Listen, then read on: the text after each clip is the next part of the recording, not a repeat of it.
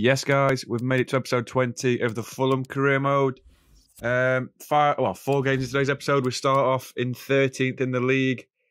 Um, I think we're the second highest scoring team in the league currently, but we've also conceded the most goals in the league. So, you know, that's that's just us down to a T, really. Um, we start with a press conference to try and change the morale of the team. Obviously, they're not really good this FIFA. They're a bit broken, but um, I mean, I just take them for a bit of realism, to be honest. Try and take them, but I mean, literally, I took all three answers, all the positive ones, and no response from the team. So I was like, yeah, that's good. Good waste of time, that. Good waste of 20 seconds, but you know, it is what it is. We're going to the first game of the episode at the cottage with the Sirigu Tifo. We go against the might of Chelsea in a very, very difficult West London derby. I think it's West London derby. I have no idea. I think it is. Um, so I've got the team on the screen. We've got Sirigu in goal, Brian Gvardiol, Tanganga, and Robinson in defence. We've got Sessegnon and Anguissa as the holding midfielders, with Demir, Wilson, and Mellor as the attacking trio, with Mitrovic leading the line on his own. That's how the team's laid out. Demir is on the right hand side, so Wilson will move into the central to start off with.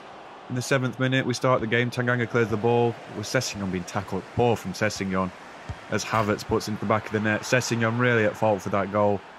I'm not really sure what he was doing for it. It was a bit annoying, and I hate this Spinaroonie celebration. Honestly, it reminds me of Booker T, the wrestler, who's actually got a good celebration, but this guy Havertz does not do it in real life, and it's his default celebration for some reason.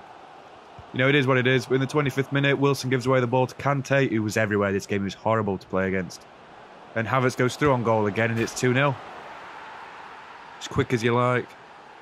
Good football from Chelsea, and he does it again. Because he's a knobhead yeah, we are 2 0 down, and I, I, I, don't know what I can really do about that. It's a, it's a good ball, good volley, and uh, we do go 2 0 down.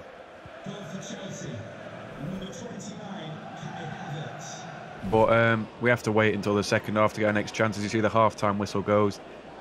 Very disappointing half. We didn't have much fight. There were a lot of bookings in this game. I didn't really show them, but just a very, very physical game. As Pulisic in the 50th minute goes through, and should Sirigu be saving that? I don't want to slate Sirigu already because he's only just the new keeper in the team.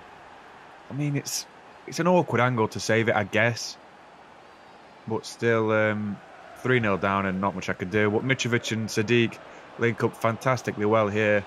Plays a really nice bit of football. And Sadiq goes through on goal and makes it 3 1 in the 55th minute. Good finish from Sadiq. He, I mean, that should count as two, I think. Pretty sure they're the rules of football. You hit it in the net twice at two goals. But I mean, 3 1 now, not bad. Not bad at all. But Chelsea, very difficult to break down, aren't they? So we have to wait a bit of a while to get our next chance. Ben Kennedy holding off Lukaku is something I never thought I'd see. And Mitrovic goes in the 68th minute. It's a great save by Mendy. Fantastic goalkeeper in real life, Benjamin Mendy. Not Benjamin Mendy, Jesus, that is a very insulting thing to say. Edward Mendy, sorry. But we do go from the next corner.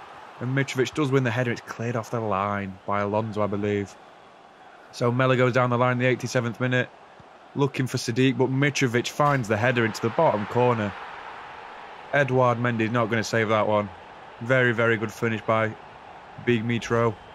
And uh, he does make it 3 2. And it's really, as I said, really, really difficult. That was our next major chance in the next 20 minutes of gameplay.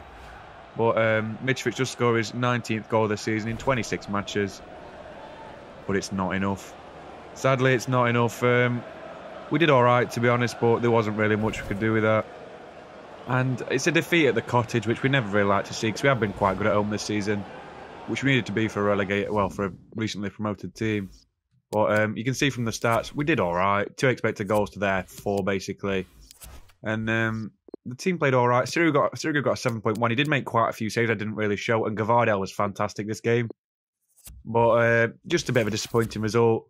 A bit lackluster in general with the um, defending. I'm, I'm not good at defending, am I? Let's be honest. Not really good at FIFA, but we did all right. It just is what it is, in the end of the day. Uh, but I mean, the press conference again. I don't know if anyone likes seeing him, but I mean, it just is. I, I I sort of like to show him to break down the games a little bit, or it's just game, game, game, game, game.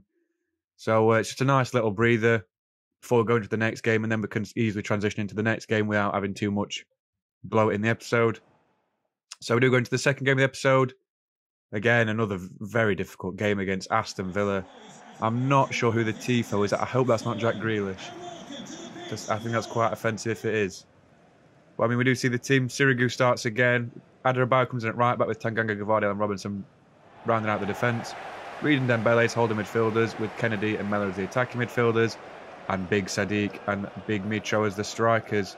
So um, a good team. Rodak makes the bench again. I'm, I'm honest, he's not playing again. Honest, he's never playing for this team again as Sirigu makes a good save. Adarabioyo, I can't say his name honestly, tries to clear the ball out to Robinson. It's intercepted and a good through ball to Danny Ings where Robinson misreads the flight of the ball. Goes under his foot and it's two mistakes in a row from Robinson. And I'd say he's at fault for that goal. Like that one there. It's just no saving that from Sirigu. It's just unfortunate. It's one of them goals which you can't really do anything about. 10 goals and 25 for Danny Ings, and uh, we are 1 0 down. But Mellor starts again in the ninth minute. Cross the ball to Mitrovic, and what a save from Emi Martinez. Absolutely unbelievable goalkeeper as uh, Reed's shot is blocked. We go again, Sadiq with another good force, another good save from Emi, Emiliano Martinez. He's a keeper I'd like in this team, to be honest. But uh, very, very unfortunate. On the next corner, Martinez claims the ball from the leaping Mitrovic. But he's such a good goalkeeper, honestly. And he does keep him in the game in the first half as we do go behind into the break, 1 0 down. And uh, it was a good finish from Ings, to be honest. In the 51st minute, we have Zambo Anguissa passing the ball lovely to Mellor. And he shoots a cross goal and save that, Emi Martinez. Absolutely no chance from the Argentine number one. As Mellor has started to add a lot more goals to his game. I'm sure he had two in 17 at the start of the season. I think he scored quite a lot more recently. So uh, good goal from Mellor, good football. But Ben Kennedy looking for Sadiq down the line, who whips the ball in towards Mitrovic. Another good save from Martinez. As Mitrovic shouts at the floor, as you do. I had to show the replay for this, but it's a fantastic save. Just gets his hand up and tips it over the bar. Great reactions from Martinez. Um, as we do try and, try and cross the ball in from the next corner. We aim for Mitrovic, and he's cleared off the line by uh, Odriozola, I believe as uh, Martinez boots the ball out very strangely. And uh, eventually the ball does land back to Martinez. It was fantastic again there. But in the 62nd minute, Schlager has a shot, and it's such a good save from Sirigu. I definitely didn't say his name right, but what a save from Sirigu that is. It's a really good volley from the Austrian. What a save. I mean, that is an action shot. He just tips it round the post. It's a very good save to keep it in the game. The 67th minute, we have another mistake from Adarabioyo, who uh, plays it to Gori, who plays it to Gori to Ings, and Ings taps it into the net.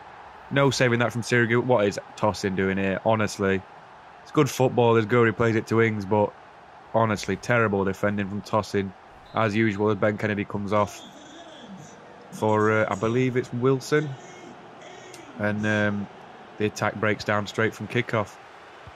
But we do uh, pick up the ball again and look at that from a challenge from Gori. A straight red card. I'll show you the replay because it's a it's a terrible challenge. Again, GBH manslaughter charges on Harrison Reed. They're only because he's ginger. But look at this from a finish from John McGinn. Oh my god. What keeper in the league is going to save that? I don't think any of them would. Lovely hold up play from Danny Ings, who sort of does Gvardiol on the turn. What a finish that is, honestly and we are under the cosh, but they are a man down, remember, so we have got a chance to get back. And Mellor runs to on goal. No challenge from Zubeldia, which is really weird. And he does get a goal back for us. I try and pick up the ball, and then Mellor falls over because that's how you do it with your really, really shocking balance. There's a little cartwheel to celebrate. But um, good bit of football again. Mellor with his 93 pace. He's honestly unreal. I don't even know what to liken him to because he's six foot three as well. 83rd minute, Mellor again causing problems later. Zambo Anguissa and what a goal that is. Emi Martinez nowhere near it again. I mean, I'm not expecting him to be. I'm not saying that. I'm just saying it's such a good finish from Big Zambo Anguissa. And uh, in the 93rd minute, Villa are pushing for a late goal. And thankfully, Ivan Cavallero, with his high work rate, I mean, I think he's got low work rate defensive, but he does really, really well there to intercept the ball. And uh, we get, to be fair, the Villa fans are really upset about that, and I will be as well, because we were under the cosh there until Gori got sent off. But they did go 3 1 up and we did uh, come back. We have the Ginger Pirlo himself there celebrating with the players. A good 3 3 draw, to be fair. That's a good name for Harrison Reed, that, isn't it? The Ginger Pirlo. I like that. That's a good name. A bit like um, it's a bit like Paul Scholes, just just better. So um, yeah, the press conference again about Mellor. Fantastic performance from the youngster. I Still forget he's only 19, so He's done really, really well, but we do go to the next game of the episode at the cottage with the Cavallero Tifo. All because of that interception last game. That's why he's got the Tifo up. I told the fans I had to put the Tifo up for that.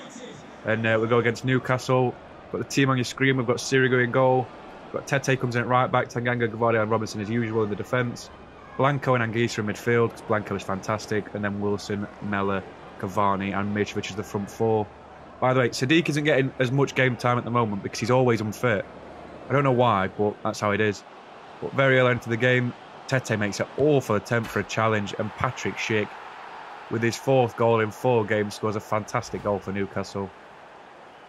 It's an easy, easy finish from the uh, Czech striker who dominated the Euros, but uh, unfortunate for us. In the 21st minute, Mitrovic gets a bit lucky and plays the ball to Mellor, who ball rolls Lascelles with his 45 balance and agility and puts it away again. Honestly, he's been absolutely fantastic the second half of the season. I try and celebrate and I can't, so really annoying. But um, they do the little handshake celebration, so I skip it because I hate that celebration with a passion. But very, very good play. Gets past the old man Lascelles. Does make it 1 1. But in the 24th minute again, Zambo Anguissa to Mitrovic. Hits it across Darlow. Honestly, nowhere near it from the Newcastle number one. I'm not sure why they're not playing Dubravka or Woodman, but it's a good finish from Mitrovic against his former club. He hates Newcastle as much as the rest of us do. We do go 2 1 up, but Carrillo in the 28th minute causing some problems. Plays the ball back to Jeff Hendrick to Patrick Schick, and what a block that is from Tanganga. Originally, I thought it was a save, but it's a fantastic bit of defending from the Tottenham, former Tottenham Academy graduate, as uh, they do go really close with the header from the resulting corner. But um, just before half time, Newcastle again creating a bit of space. And make it 2 2. Not much I could do about that. Patrick Schick on his weak foot hits the ball across Sirigu. And I can't blame Sirigu for that, can I? Let's have a look on the replay. It's a bit of a weak shot. It's weak as piss, to be honest, but still not really saving that from Sirigu. The 59th minute, Blanco plays a lovely ball to Wilson, who sprints past Zagadou with his 54 pace and makes it 3 2. Absolutely fantastic goal from the boys on the counter, on the break. It was good play from Zambo originally to intercept the ball. But Blanco with a very nice pass. Didn't overhit it like sometimes they do on FIFA. And a good finish from Wilson to put us 3 2 up. But Newcastle pressing to get another goal. Ryan Fraser. It's a very, very good late challenge from Tete, I believe, and Sirigu claims the ball as uh, we go on the attack ourselves. Sessegnon intercepted with the pass. But he does play a skill pass because I, I, don't know how I do that, but I, I like skill passes. Play some nice football. And Mitrovic again, straight from kick-off. What a finish that is. I don't know why it wanted to go straight to goal line technology, so I don't think I show a replay. Absolutely fantastic goal from Mitrovic. Absolutely twats it off the crossbar. It's a really, really good goal from the big Serbian. In the 85th minute, Newcastle with Angel, oh, I can't remember his name, Yangel Herrera. And Almiron makes it 4 3. What a goal that was. Oh my god. Because we do bring on Adarabioyo for Tete because Tete's blowing out his arse. So um, we do we, we do all right there. There's not much I can defend with that. Sirigu's nowhere near it. But um, we do indeed snatch the 4-3 win at the cottage. And uh, I think we're a bit lucky, to be fair. Sirigu had a decent game again. We're going to the press conference and it's it's all smiles, to be fair. I'm not I'm quite impressed with the team. Uh, it was a very good performance. Mitrovic again, two more goals absolutely unbelievable striker. And uh, we're just trying to boost the morale of the team because even though we've been all right recently, we've actually been on really good form. We haven't really lost many games. I know we lost at the start of the episode, but we've been all right since then. And we've done all right in our last 10 games. We've got a very, very, very difficult game against the champions, Manchester City. They, they finished the top of the league last season, 86 points. I had a look at one of the old episodes. And uh, we do have a strong team out. We have Sirigu in goal. We have Sessegnon, Tanganga, Gvardiol, and Robinson as the defence. We have Kennedy and Zambanguish as the midfielders, with Wilson, Mellor, and Sadiq and Mitrovic as the front four. So another 4 4 2 2 2, which is the preferred formation nowadays since I was recommended it. And uh, a lot of responsibility for Ben Kennedy and Sessegnon, who are playing a better position. Kennedy's only 17, obviously, and Sessegnon's not a right back. But we're going to try it, see how it goes, and hopefully we can um, steal some points off the champions as uh, we do kick off at the Etihad. I love the uh, graphics for the Etihad, by the way. It looks fantastic in game. I know it's it's it's full, so it's a bit unrealistic, but still quite nice. In the 13th minute, Zambanguissa breaking through. Foden can't knock him off the ball. Zambanguissa's got a really good chance here. And he hits it's a good save from Ederson, the Brazilian. Look at all them fans. That is not the Etihad. Not the Etihad at all. But um, from the resulting corner, you cross the ball in towards Mitrovic. And Ederson's got like 70 speed, so he literally runs to the ball quicker than anyone, anyone on my attacking front. In the 18th minute, City are attacking really dangerously. It's good save from Sirigu, but the rebound's just tucked in from Foden. It's very, very unlucky from the Italian goalkeeper. Again, what can I do to defend that? Honestly, it's a good save, but the rebound just goes straight back to him. So, unfortunate, but the youngster does score Manchester City, and we do go 1 0 down. As um, Sadiq does a bit of skill from kickoff in the 38th minute. They're playing the ball around. De Bruyne to Torres. It's 2 0. Or is it? He does get flagged for offside and uh, keeps in the game a little bit. In the 45th, though, he's not offside this time. Raheem Sterling gets past his man. Robinson nowhere near him, and it's a good finish. We're getting thumped by the champions, aren't we? Absolutely thumped. 2 0 down now, and uh, not much I can do to stop them, to be honest. They, are a good football inside. Uh, but the half time whistle does go as, as Sadiq is fouled there, to be fair. I thought it was a really, like, a really silly challenge. I'm surprised it wasn't a booking. But um, City are really let off as Tanganga hits a thunderbolt from range and Ederson easily collects it and gathers it into his chest. But we do go into the break, 2 0 down, and um, City fans are clapping. Not much I could do about that. But uh, we're going to the second half, and Blanco making a nuisance of himself coming off the bench for Kennedy, and Henry Mella scores again. I hope his name's Henry. I say it's Henry all the time, so I'm hoping it is. But uh, he does make it 2 1. He stirs his pot. I don't know why. He's not Gnabry, but still. Good finish from uh, Henry Mella and Blanco comes off the bench. He's absolutely fantastic in the second half. As he puts pressure on Ederson there, and look at this from the worst keeping you'll see. Ederson throws the ball out, we read it, and Mitrovic taps it in. What the hell is that from Ederson? We got absolutely wild at the Etihad. We get the 2 2 comeback. What scenes these are, honestly. It's so good to see because City were dominating the game, and uh, Sirigu did play really well, to be honest. But honestly, that is terrible goalkeeping from Ederson. What is he doing here? I, I sort of caught on to what he was trying to do. I just read it. Five star weak foot Mitrovic taps it in. Easiest piss that. Yeah, 22 goals and 29 for Mitrovic, top scorer in the league. In the 93rd minute, we're running down the wing, and it's so unlucky from Sadiq, but the ball comes back to Blanco, and he holds off Torres. And look at this. Blanco 30 yards out, and he wins the game in the last minute against Man City. Look at them scenes. The police are holding the fans back because the City fans are going mad. And here's the man in the hat as well, come to celebrate with the team. I mean, I'm taller than that. To be fair, I don't. I don't think that's a good metronome for my height. But still, Sirigu going insane. That's what you like to see. You like to see a bit of passion in the team. The City players cannot believe it. They've been shocked by boring mid-table Fulham. To be fair, we're not boring. We score like four goals a game, concede five. But what a finish from Blanco! That's goal of the season already. That just because of what area it's in and what game it's in. Third goal in six matches for Blanco. Absolutely fantastic play from the Spaniard, and uh, he was worth that free zero pound deal, wasn't he? We do steal the game. Ferran Torres is not happy. We're going to the press conference, and this is probably the best one we've had at save. The best win of the save. Absolutely fantastic result from the boys. Really, really happy with that. And uh, the press conference is so upbeat, it's unreal. We were 2 0 down at half time, and it was a bit like the Tottenham v uh, Man United game. We went in at half time, I had a massive go at the boys, and then we've come back and won 3 2. We did really, really well there. We're still 14th in the league, but I'm not even joking. The gap between us and um, what's it called, sixth place is five points. How am I meant to recover that? Like, it's, it's not really fair. It's six points between sixth and 14th. So uh, it's a bit annoying. They could drop a few points, we could win a few. But we see Mitrovic's the top scorer in the league on with 22 and 29, above Podence and level with Lacazette. Got a few more players on the list now. Sadiq, obviously, he's had a very good season with um, a good good range of goals. And Mela's a top assister with Wilson Mitrovic. And then we see our clean sheets, and it's as depressing as always. No clean sheets again. Not much I can really do there. But in the next episode, we've got Man United away at the Old Trafford, Palace at home, and we've got Tottenham away at the Tottenham Hotspur Stadium.